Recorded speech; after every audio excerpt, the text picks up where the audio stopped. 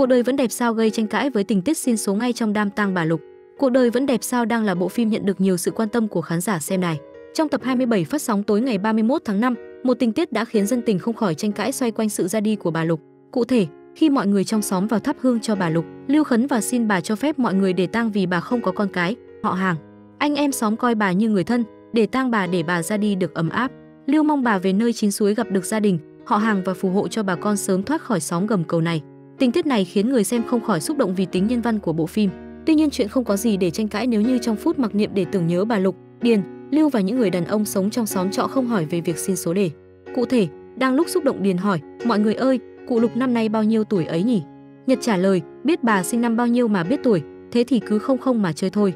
Lưu nói, sao lại không không, cụ mất ngày nào cứ phệt ngày đấy. Ngay sau khi lên sóng, nhiều cư dân mạng bày tỏ sự thích thú khi cho rằng tình tiết trong phim rất giống với đời thực, khi đem tuổi của người mất để làm cớ cho những trò đỏ đen. Tuy nhiên bên cạnh đó cũng có người cho rằng việc đem trò đỏ đen ngay trong lúc đang diễn ra cảnh xúc động là thiếu đi sự nhân văn, cũng như tiêu đề của bộ phim là cuộc đời vẫn đẹp sao.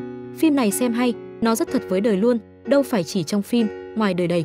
Tự nhiên xem đến đoạn này buồn cười quá đi mất. Tôi thấy không còn hay nữa đấy, sao lại lấy mấy cái này ra để đưa lên phim cơ chứ? Đừng quên theo dõi New 24 giờ sao Việt để cập nhật những thông tin mới nhất.